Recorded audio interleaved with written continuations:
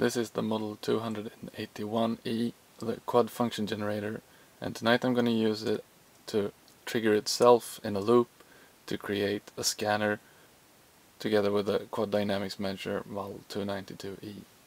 I'm going to use the quadrature mode of the quad function generator and I'm going to patch the pulse outputs to the trigger inputs so that I make up a chain looking kind of like this where the A and B are set in quadrature mode so that A triggers B then I take the pulse out of A and trigger C so that I get a continuous loop going like this from A through B, C, D and then back to A again etc. I've set it up so I have quite slow times for all four and also the same times approximately. Of course I shouldn't run it in loop mode, I should run it in AD mode. I set both function generators into quadrature mode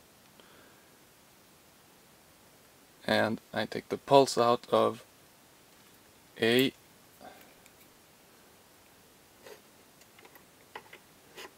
and patch it to the trigger in of C. And I take the pulse out of C. And patch it back into A. Then we just gotta set it off.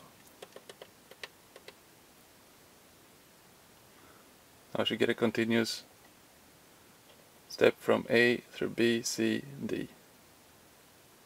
So when A decays, B rises, when B decays, C rises, and when D decays, A rises. So what to do with these scanning voltages? Well, I patched them into the velocity inputs of the 292 because I want to be able to control the mix with the knobs since I use the different oscillators and they have different strengths.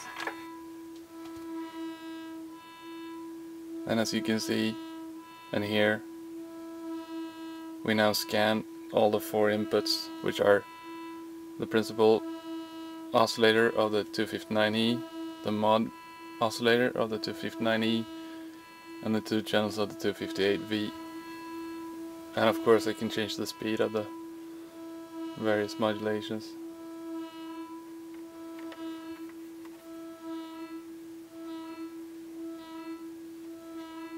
As well as the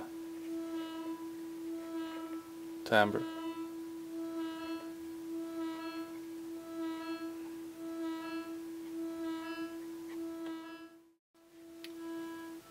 So what's this missing link thing?